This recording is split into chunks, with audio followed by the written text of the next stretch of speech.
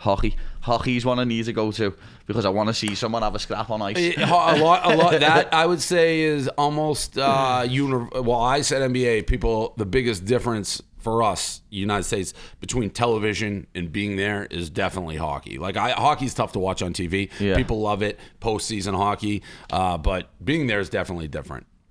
So it's a fun sport. Yeah. It's my least. Uh, so my allegiances go American football, basketball, baseball, distant for hockey. Like I'll root for the Bruins, Boston, but they're uh, they're my distant. I'm I'm less of a hockey guy. yeah. But See, it's fun we, to go to. See, we don't have multiple sports in the UK. It literally is just football. Yeah, that's it. I Well- like I like tennis, like you know what I mean, but that's about it. Yeah. It's just football and fighting.